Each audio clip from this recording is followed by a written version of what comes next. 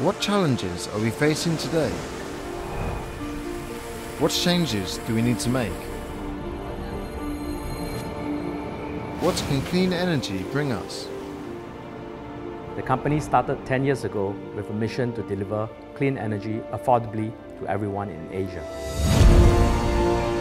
Singapore's Sunseap Group chose Huawei Fusion Solar and built one of the world's largest offshore floating solar photovoltaic systems in the Straits of Johor. The offshore floating solar photovoltaic system is designed with a sturdy constant tension mooring system that can withstand changing weather conditions, thereby maintaining the stability of the platform and all operating equipment.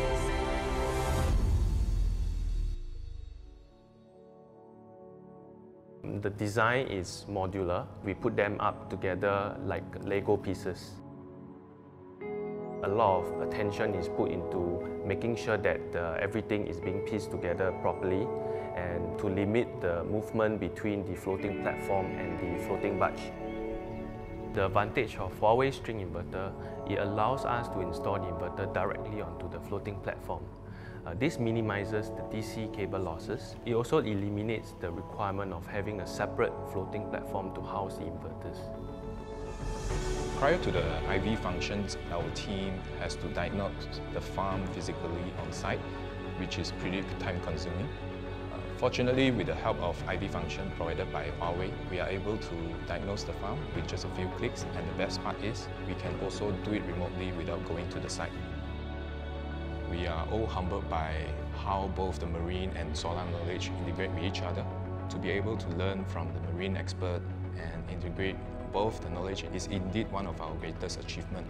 We have a great team who grinds day and night just to piece everything together to make the farm a success. The Green Plan from the Singapore government is a strong commitment against climate change. It signifies that whatever we have today as incumbent will change. We are 97% powered by natural gas today. I think this fossil fuel base will be replaced by clean energy. This floating 5 megawatt that we have here is really a baby step forward to achieve zero carbon climate goals. 2021 is the 20th anniversary of Huawei in Singapore.